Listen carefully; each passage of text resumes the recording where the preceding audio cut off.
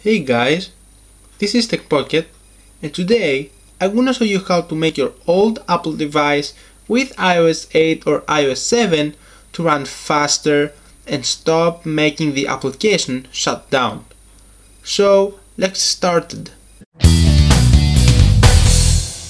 The reason that this happens is because your Apple device doesn't have enough space of RAM to move on.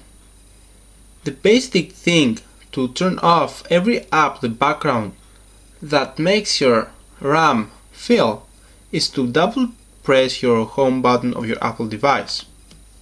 And here you will see the batch of apps that you have opened recently. To close them, just slide, press on an app and slide it down up.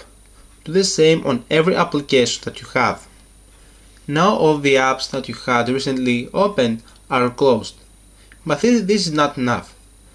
If your Apple device still runs slow and some apps doesn't open or some apps actually shut down unexpectedly, just hold down the power button, the home button to do a hard uh, boot up of your device. Don't worry about that. Your application or your photos or videos or any data of your device won't get lost but this will be a hard reset of your RAM. If it still doesn't uh, respond or some Apple's apps closed unresponsibly just go on the App Store and download an app called Battery Doctor. It looks like this Go ahead on App Store and download this app. Should be the first app on your search. Now close App Store and open Battery.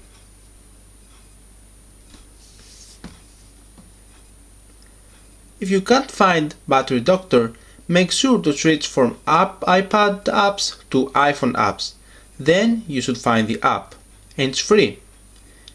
So here you will see how much battery uh, capacity you have or how much memory you have used or how many uh, space you have your iPad or iPhone or iPod or some free apps to download, optimize and a bunch of uh, stuff and options here. So we're going to focus on the memory. So click on the memory used and click on boost. Now, Battery Doctor should detect or scan every app in the background that's possible to stop its uh, working and free up RAM. What you're gonna do? Just press on the boost button and battery will boost your RAM and your device as much as they can. So here says that uh, it freed up 3 141 megabytes. That's actually much. And now you have 32% of memory used. And now your Apple device should, should run very smoothly.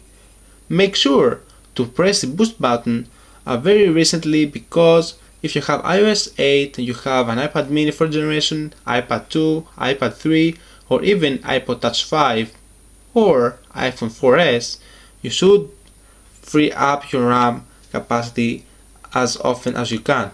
But you have a version of Apple device higher than this model that I just told. Basically, these devices have only 1 gigabyte of RAM, but iPad mini, all this stuff, have only 512 gigabyte megabytes, so actually doesn't need to do it that much often. So that was a video for today guys, I hope you enjoyed, I hope you learned something new today. Please subscribe to my channel to watch my latest videos, my latest tutorials. Also, make sure to follow me on Twitter and like my Facebook fan page to watch my latest videos, my latest tutorials, also my latest activities. Thanks for watching guys and I hope you have a beautiful day.